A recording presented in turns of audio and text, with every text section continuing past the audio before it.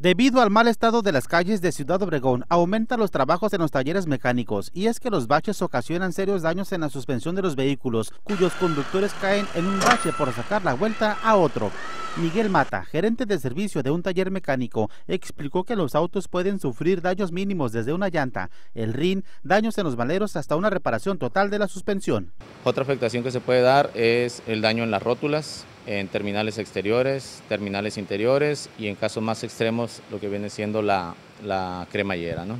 Hay dos tipos de cremallera, cremallera hidráulica y cremallera electrónica. Esta todavía es un poquito más, más cara. ¿no? Es decir, por el hecho de caer en un bache, los propietarios de los vehículos deben acudir al taller para reparar el daño y desembolsar entre 5 y 6 mil pesos.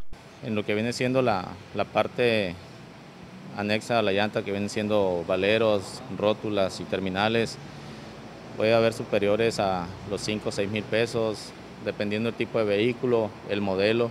Hay valeros dobles que pueden ser muy, muy caros eh, dependiendo del modelo. El gerente de servicio del taller mecánico recomienda a los conductores manejar con precaución para no ocasionar serios daños a los vehículos. Tienen que manejar con precaución. Desafortunadamente la ciudad está muy dañada por baches.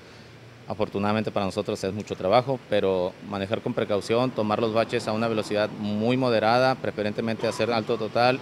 Imágenes y edición de Cristian Bazáñez. Informó para las noticias Tomás Valenzuela.